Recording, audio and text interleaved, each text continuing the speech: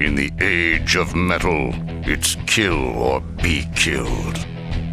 It is up to you to win over the fans and use their energy to put on bigger and bigger shows and ultimately destroy your opponent's stage.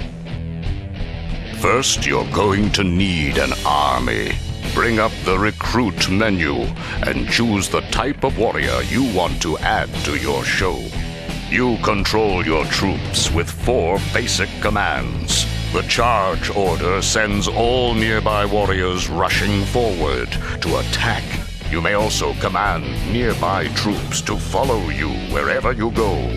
Give the defend command to have your troops stop now, give the move command, and your troops will move to the beacon.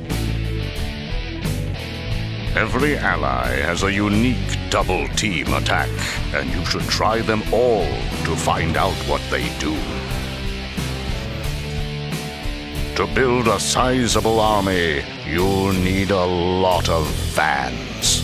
Approach one of the wild neutral fan geysers and play the fan tribute guitar solo for them. And any fans that emerge from this geyser will add to the power of your show. Eddie Riggs' Ironheade has a fast, powerful, and fiery attack.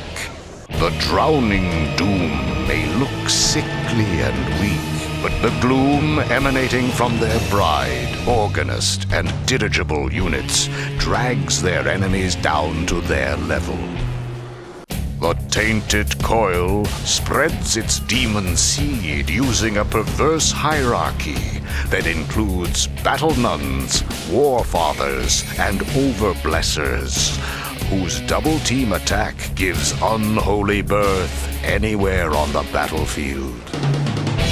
Use your guitar solos, double team attacks, your knowledge of your troops' strengths and weaknesses to not just dominate the map, but tear down your enemy's stage. With the power of rock on your side, may you please the metal gods and lead your army to brutal victory.